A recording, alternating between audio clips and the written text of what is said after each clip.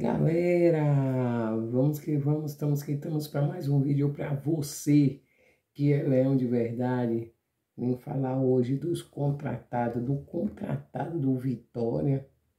É... América, aí vemos junto, pô, mas que jogadores são esses? Gente, bota calma. Vamos ver o histórico do, dos jogadores da segunda divisão. Vou dar só um exemplo que eu lembro rápido aqui. Mateuzinho estava querendo se aposentar. Olha a inspiração que o Vitória deu para esse time, para esse jogador. Se eu não me engano, o Zé Hugo. Quer dizer, jogadores que se doaram por quê? Porque o Vitória deu chance a eles.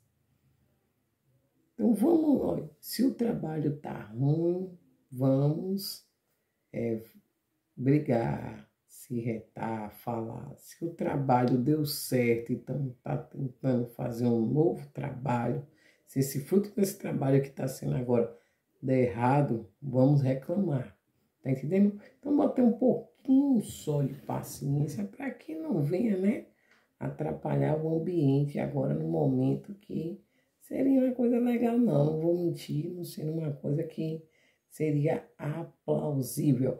É, galera, então vamos que vamos para mais uma notícia para você que é leão e que é vitória de verdade. Então, bora, galera!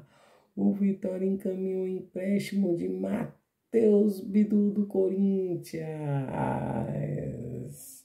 É, galera, o Vitória encaminha um empréstimo do lateral esquerdo Matheus Bidu junto ao Corinthians, o jogador de 24 anos, tem contrato com o Clube Paulista até o fim de 2025. E se acertou, se confirma, fica na toca do Leão até dezembro de 2024. Tá vendo como é bom? Ah, é de Corinthians, meu irmão. Ah, mas América Corinthians, sim, é de um time do Corinthians.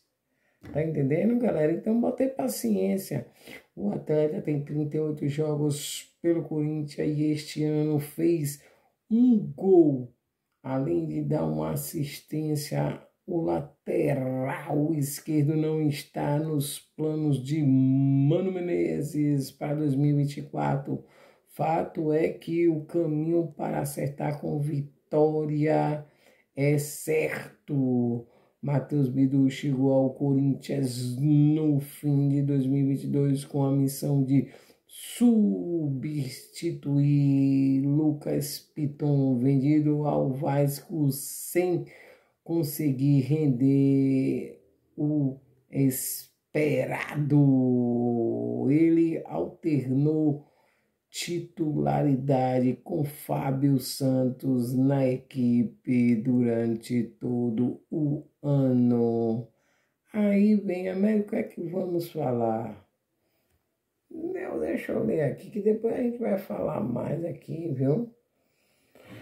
É, galera, na ocasião do contrato, o Corinthians adquiriu 20% dos direitos econômicos do jogador Matheus Bidu junto com o Guarani. O valor não foi divulgado pelos clubes, mas ficou entre 1.500 a 2 milhões. Se Bidu alcançasse se ele alcançasse o castigo estipulado no início do contrato, o Timão teria que pagar aproximadamente 5 milhões por mais 50% dos direitos autorais do lateral, mas a meta não foram alcançada. Revelado pelo Bugre, o lateral esquerdo também defendeu o Cruzeiro na temporada passada pela Raposa. Matheus Bidu tem 39 jogos e balançou as redes três vezes lateral Bidu. Eu vi aqui que ele jogou no Cruzeiro e no Corinthians.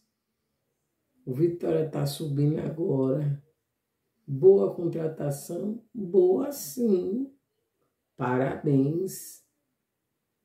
Boa. A primeira contratação, eu não diria de piso, a primeira contratação que mostrou que o Vitória vem sim para pegar jogadores bons do Corinthians, gente.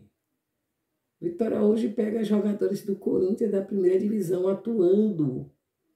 Gente, eu vou dizer uma coisa: meu pai, quando treinava o Triunfo Futebol Clube, lá de Cariazeiro, ele pegava um menino que era reserva de outro, coisa de baba de várzea, né? E chamava e dizia: olha, eles te jogaram como ruim, eu vou te pegar como bom. E a gente ganhou vários campeonatos em Cajazeira 11. Quem é da época pode até chegar e falar aqui. Então, o que é que eu vou falar? Se ele foi jogado como ruim lá, ele vem e faça o papel dele aqui e faça o gol em cima do Corinthians. Ele vai fazer o gol em cima do Corinthians. E parabéns! Gente, olha a dimensão. Hoje a gente contratou um jogador do Corinthians.